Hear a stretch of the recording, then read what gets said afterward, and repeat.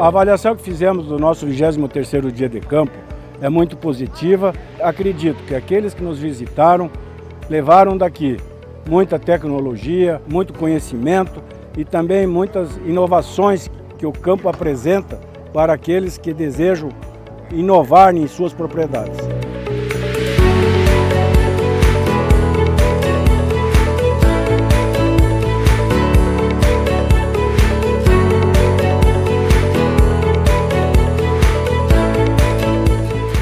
Estamos aqui fechando a 23ª edição do Dia de Campo.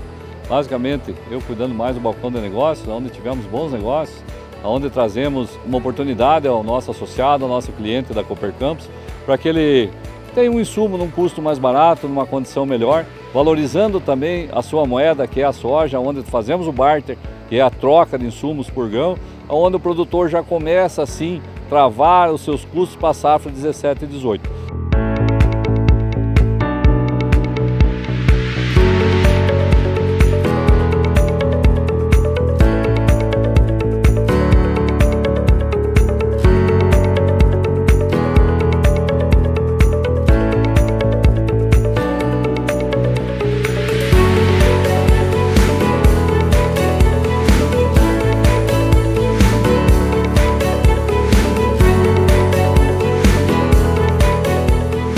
E aproveito também para convidá-los para o próximo dia de campo, que será dia 26, 27 e 28 de fevereiro de 2019.